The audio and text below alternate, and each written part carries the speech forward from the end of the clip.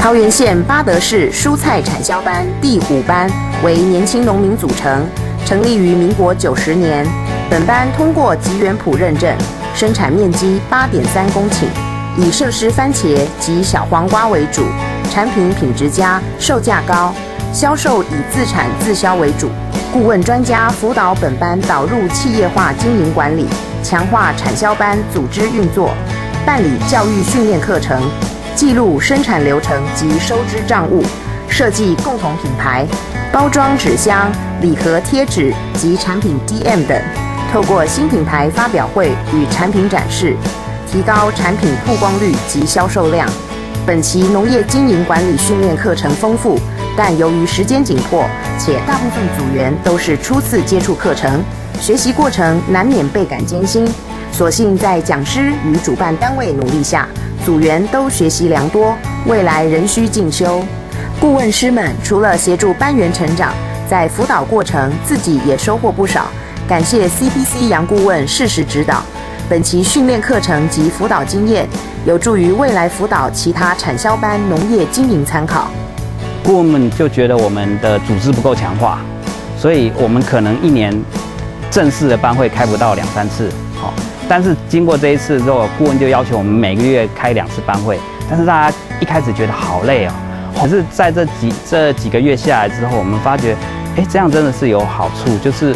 事情要推动比较容易，比较快。我在观察他们在一开始接触这样的一个实习计划的时候，我大概是一开始觉得他们是千头万绪。那一方面，这个产销班的这些班员呢，也不知道到底他们来这边可以帮助他们做什么，所以大家彼此之间的磨时间，哎，有稍微经过一段的时间的这样的一个磨合。那也蛮庆幸的，就是因为呃，他们大概也是出很大的一个诚意哦，所以让这个产销班班员也慢慢发现，呃，他们的这个可以确实可以帮他们做了一些呃改善。哦，所以到了第二阶段就进入了所谓比较渐入佳境。想还有课程里面，就是让我们要有热情，怎么样去帮助农民，然后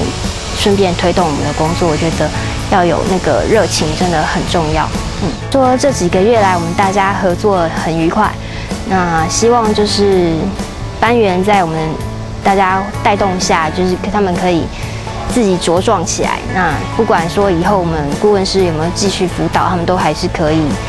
继续的努力下去。那上了这门课之后呢，就是呃，得到很多新的知识，然后有很多感想。那不能不敢说说以后遇到什么问题都可以很顺利的解决，但是起码知道说，哎，遇到什么样的问题，我们可以从哪个方向去找答案，或者去。我是觉得我们的产销班基本上算是直优，而且很精良的哦，是这个。非常精英的部队。那我们先把它的品牌整个建立之后呢，我们可能我我自己是觉得可能会从比如说扩大班员的经营规模开始。我们会从这次训练的那些结果、一些训练心得，然后套用在今年可能套用在其他产销班上。哦，当然也不如果有不适比较不适合的部分，那我们会直接请教其他。同仁或者是跟我们老师这边在做请教，那我们是希望说我们尽我们所学，然后去帮助我们的农友来提升我们农业的竞争力。这一班的优点算蛮多的啦，因为他的班员很年轻，所以我们在辅导的时候，其实跟我们年纪都蛮接近的，是蛮容易沟通的。可以做的事情其实很多，可是很多部分也是因为人的问题，因为都那个老化了，所以变成说他也不愿意去投资。